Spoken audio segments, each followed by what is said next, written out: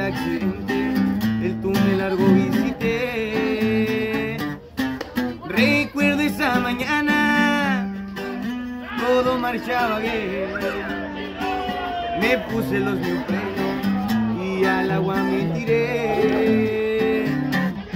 Con casi una hora, la manguera se cortaba. De una voy para arriba,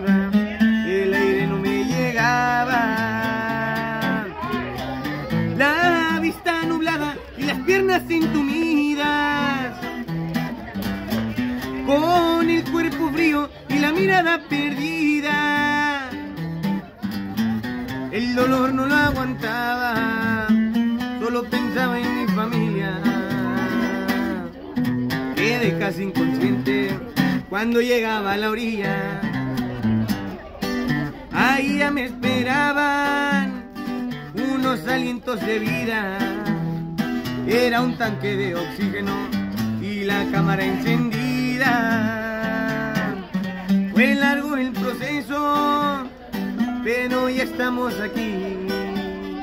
Le doy gracias a Dios por permitirme seguir.